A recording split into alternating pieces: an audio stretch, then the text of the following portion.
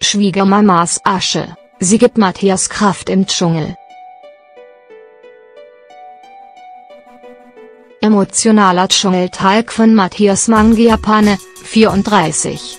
Seit zehn Tagen kämpft sich der Hut oder Schrottstar durch die ekligen Gallenes bei Ich bin ein Star holt mich hier raus.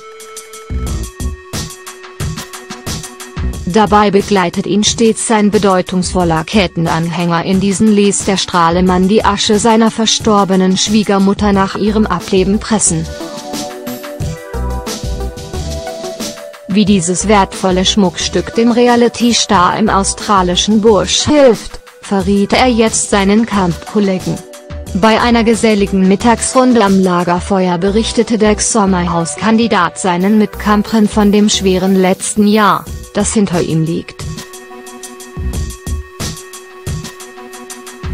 Bis zu ihrem Tod im Dezember pflegte er seine an Demenz erkrankte Schwiegermama, die Mutter von seinem Lebensgefährten Hubert Fehler, 50.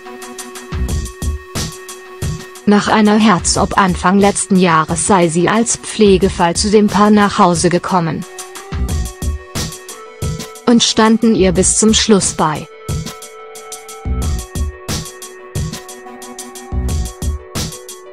Dieses Erlebnis habe den 34-Jährigen stärker gemacht und daran soll ihn auch im Busch sein Aschenanhänger erinnern.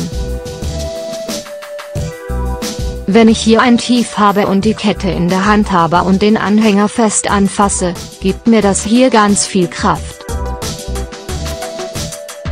Und zeigt er hat echten Kampfgeist im. So kämpfte er sich erst an Tag 8 beispielsweise erfolgreich durch einen dreckigen Schweinestall.